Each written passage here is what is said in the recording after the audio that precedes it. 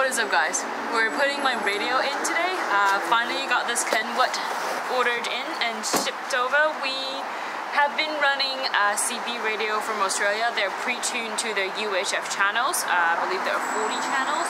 But since Canada mostly use VHF, um, that one kind of went obsolete. And I've been thinking of getting a radio the entire time uh, because handheld really just the range doesn't cut it.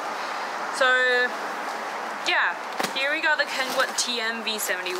Um, a lot of people recommend this to me. It's a dual, dual band UHF VHF um, with a antenna. Where did the antenna go? So we're going to use the radio in combination with Comet UHF VHF um, antenna. I will put try to find a link and put them down below if you are trying to find the same um, setup. Alright, let's take it apart and see what's in the box. Our user manuals in French too.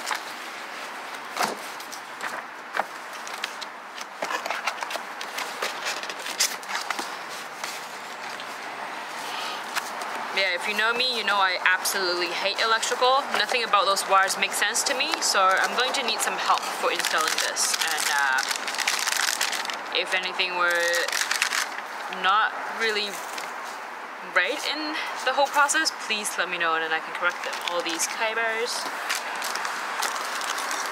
your mounts, your handheld unit, and here we go. Yeah, you can definitely put the display somewhere else if you want to hide this height this unit and then only have display out in the exposure.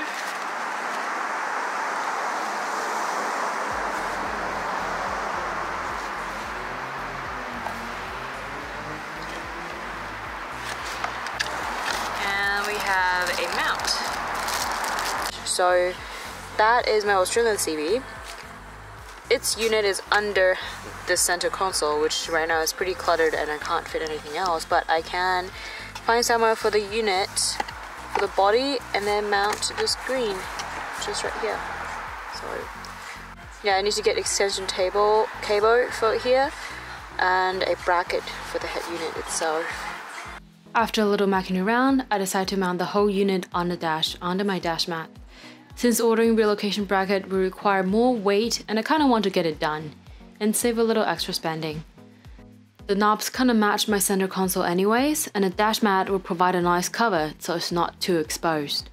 Alright, so this is the part I hate the most, wiring. Um, second battery right on this side, so we're going to run the wire through driver's side and towards this guy. We'll need to cross the wires through the firewall.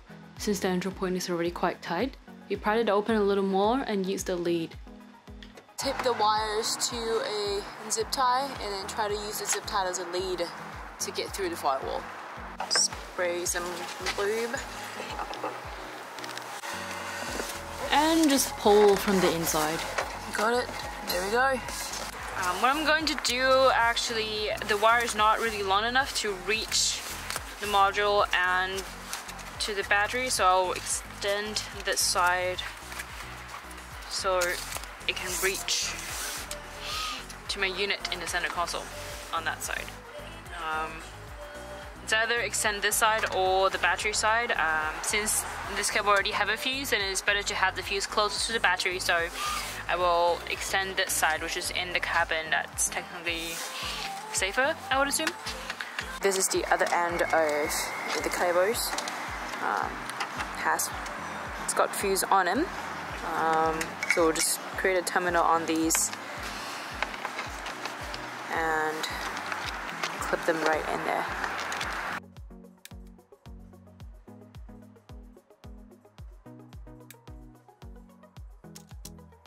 We're out of soldering iron and since the extension is inside a cabin, I just use crimper. A bit more labor intensive, if I ever do electrical again, soldering will be the way to go. Battery side, we will crimp it to a ring terminal. Make sure you see the wire come through. technically you should solder this side so it's snug in.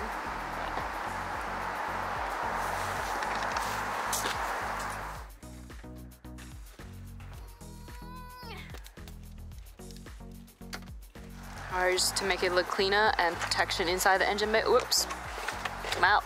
Um, the rest of the parts we split tubed it and mounted along this side, just zip tied. And then it's time to position the antenna. The ARB bull bar comes with two mounting tabs on the loop, one on each side. My Australian CB took the passenger side.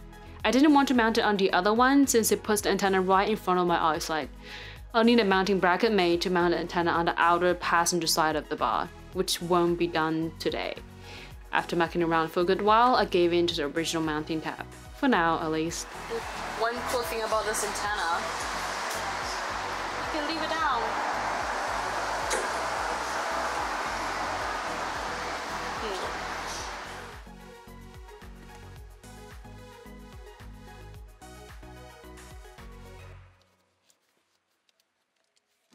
Split tube for the clean look, also will be protection since the wires will be sitting around the windscreen vent. And tuck them in the slight trims.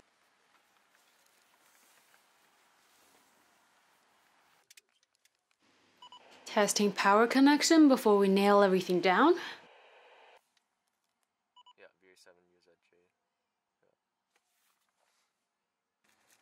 Alright, there we go. Time to make some holes on my dash.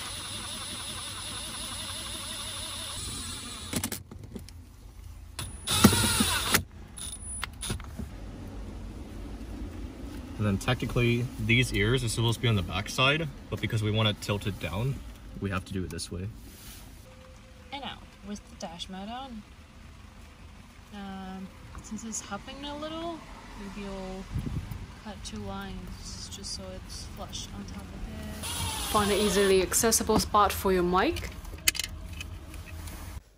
Alright, so our finished look. Mic is just easily mounted right there. And then let's turn everything on. I've also changed the screen color to green just to match my dash color.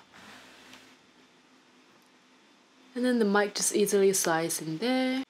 I am not affiliated with Kenwood whatsoever, just something I need to use, so hope this video is helpful to you update on the usage. It does shake quite a bit with wind or any little bit of bump on the road, especially annoying when it's right in front of me. So eventually I will get a bracket made and move it to the passenger side.